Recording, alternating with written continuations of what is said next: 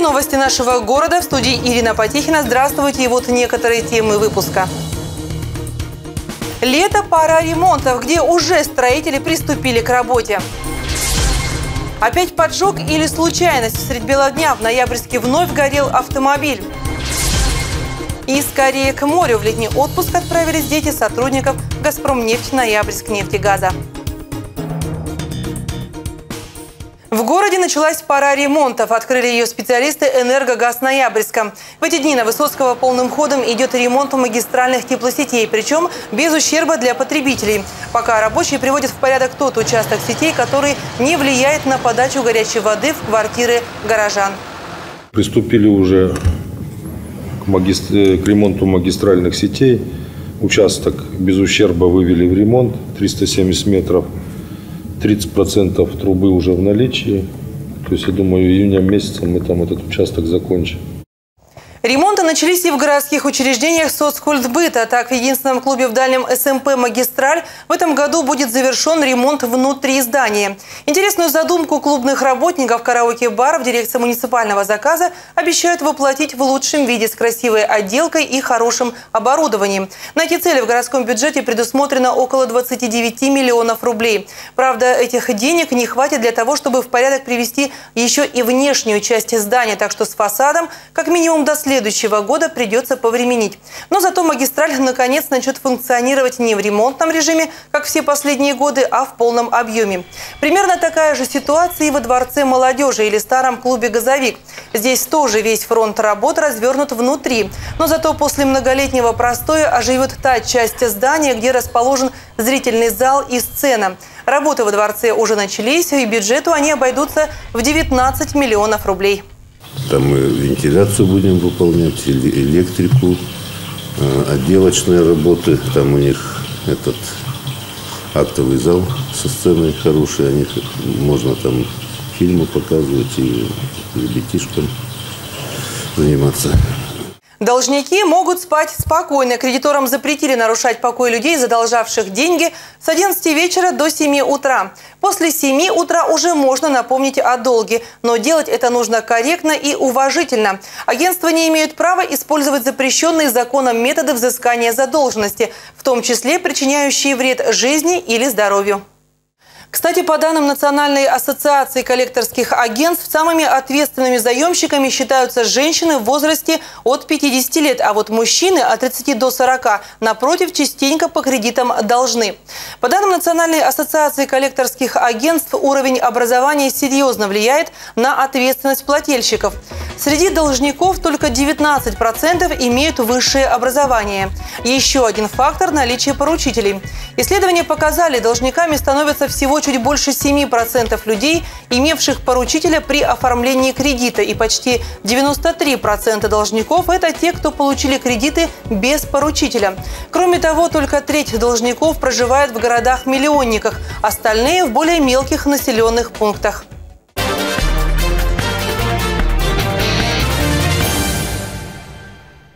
Депутаты Госдумы определили цену на так называемые «красивые номера». По мнению законодателя, необходимо легализовать продажу регистрационных знаков с запоминающимся сочетанием букв и цифр.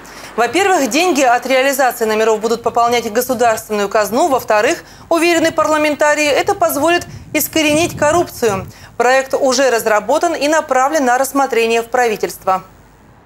Еще один автомобиль в Ноябрьске пострадал сегодня от огня. Во дворе дома по улице Советской загорелась иномарка. К моменту прибытия пожарных в машине вовсю пылал салон. С пламенем огнеборцы справились быстро. Однако автомобиль спасти не удалось. На месте происшествия побывал наш телеоператор. И вот что ему удалось запечатлеть.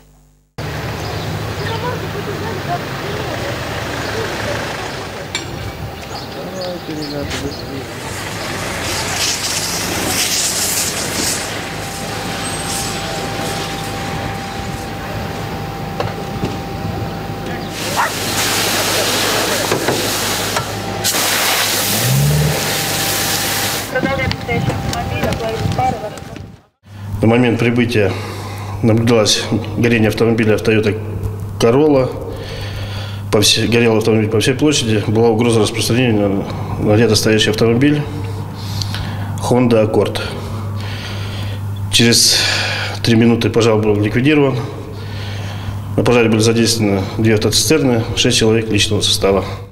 Сегодня днем на улице Магистральной столкнулись десятка и маршрутное такси. По словам водителя «Газели», он ехал по магистральной прямо. В этот момент женщина, водитель «десятки», стала отъезжать от остановочного комплекса. По правилам она должна была предоставить преимущество, однако этого не сделала. Водитель маршрутки такого резкого маневра не ожидал и среагировать не успел. В аварии пострадала водитель отечественного авто. Лечение ей не назначено. Пассажиров в «Газели» не было. А накануне вечером на промзоне столкнулись Toyota Спасио и грузовик Исузу. Как выяснили инспекторы ГИБДД, водитель грузовика не предоставил преимущество легковушке, которая двигалась по главной дороге. От удара Тойоту отбросила в сторону и машина врезалась в дорожное ограждение. Водителю легковой машины понадобилась помощь медиков. Ему назначено амбулаторное лечение. Попытка угнать КАМАЗ оказалась неудачной для двоих жителей Ноябрьска. Молодые люди 20 и 22 лет решили без ведома хозяина прокатиться на грузовике. Дабы не нарушать покой владельца КАМАЗа, машину они угнали глубокой ночью. Однако практически сразу были задержаны сотрудниками ДПС. В ходе проведенных мероприятий сотрудниками отдельной роты ДПС по горячим следам было установлено местонахождение вышеуказанного автомобиля. Также были задержаны двое подозреваемых в совершении угона автотранспортного средства. Ими оказались ранее несудимые жители города Ноябрьска. По данному факту следственным отделом возбуждено уголовное дело по статье 166 части 2 Уголовного кодекса Российской Федерации. В настоящее время проводятся следственные действия, направленные на установление всех обстоятельств совершенного преступления.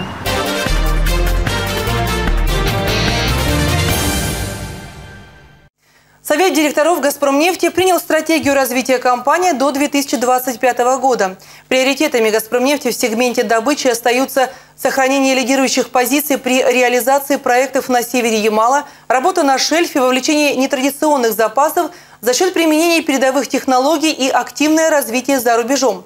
Как отметил председатель Совета директоров «Газпромнефти» Алексей Миллер – Компания остается одним из лидеров по эффективности в российской нефтяной отрасли и намерена сохранять эти позиции в будущем. А разработанная стратегия определяет задачи и вызовы, которые стоят перед компанией и формирует прочную базу для дальнейшего расширения масштабов и географии бизнеса, обеспечивая вхождение в число мировых лидеров по глубине переработки нефти, значительное увеличение акционерной стоимости и устойчивое развитие компании до 2025 года.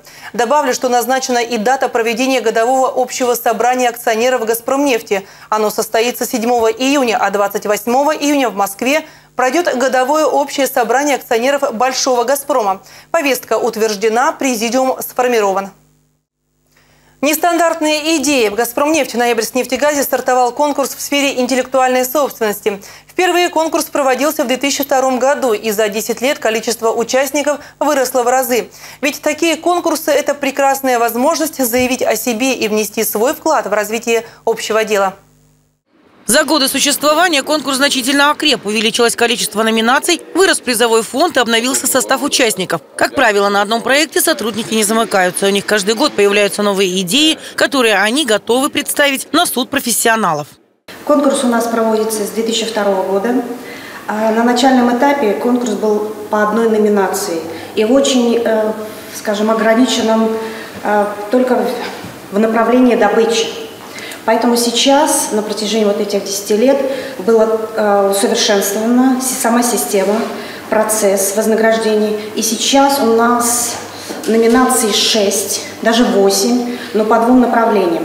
Это в аппарате управления и среди э, персонала цехового. Руслан Шакуров будет участвовать уже во второй раз. В прошлом году он презентовал свою идею, как с помощью современного оборудования избежать разливов нефти на трубопроводах. Чему будет посвящена работа этого года, Руслан еще не решил. Мыслей очень много. Процессе нашей производственной деятельности, там, независимо от должности, у всех э, мы всегда сталкиваемся с какими-то проблемами, задачами, которые нужно решать.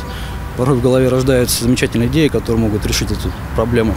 Это не обязательно какое-то ноу-хау или изобретение. Может быть, ну, идея применения существующих технологий, которые пока, или материалов, которые пока в нашей компании не применяются, но могли бы стать решением насущных проблем.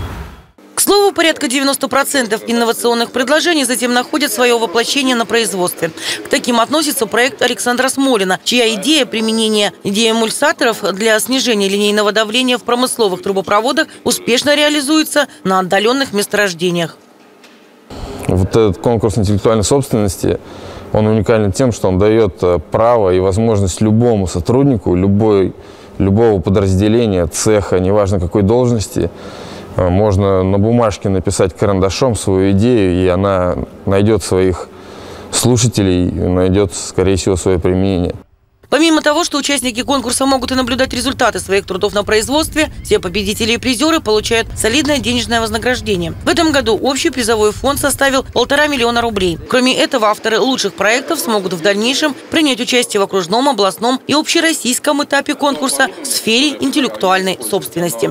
Оксана Балун, Оксана Зайчукова, Виталий Харченко. Новости нашего города. А дети сотрудников «Газпромнефть» Ноябрьск нефтегаза отправились в летний лагерь. В этом году ребятишки отдохнут в лагере города Анапы. Большую часть расходов на летний отдых, как обычно, берет на себя предприятие. Родители оплачивают только 5% от стоимости путевки и от 25 до 50% дорожных расходов. В этом году наши дети летят в санаторий «Вита», город Анапа. В этом году у нас отдохнут 87 детей. В первую смену у нас улетает 32 ребенка. У детей отличное настроение, все в преддверии отдыха и солнечного моря.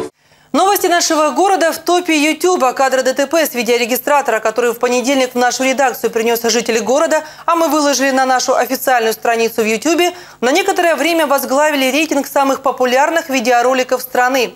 Речь идет о ДТП, которое случилось в субботу в одном из жилых дворов по улице Дзержинского. Сначала водитель такси задел «Тойоту». Заметив, что видимых повреждений нет, он попытался скрыться с места аварии. Правда, попытка уйти от ответственности оказалась безуспешной. Он зацепил еще четыре автомобиля. При ударе о последний его машина перевернулась. В общем, приключения неудачливого таксиста из Ноябрьска вызвали бурю эмоций и отзывов интернет-пользователей. По различным соцсетям видео распространилось мгновенно. Только на нашей официальной странице в YouTube за двое суток ролик был просмотрен 260 тысяч раз. Присоединяйтесь к нам и вы, будьте в курсе событий и не забывайте делиться интересным видео. Присылайте его в нашу редакцию, мы покажем его в новостях, выложим в соцсети и, возможно, завтра именно ваше видео прославится на весь мир. И это была завершающая информация выпуска. Через несколько секунд прогноз погоды. Я желаю вам всего самого хорошего. До свидания. Партнер программы – магазин Потис Антверса, торговый центр «Клубника».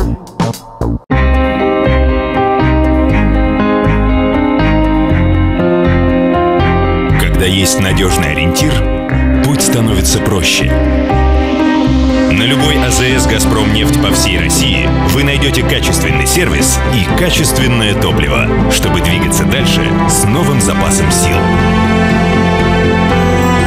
Сеть АЗС «Газпром нефть». Надежный ориентир.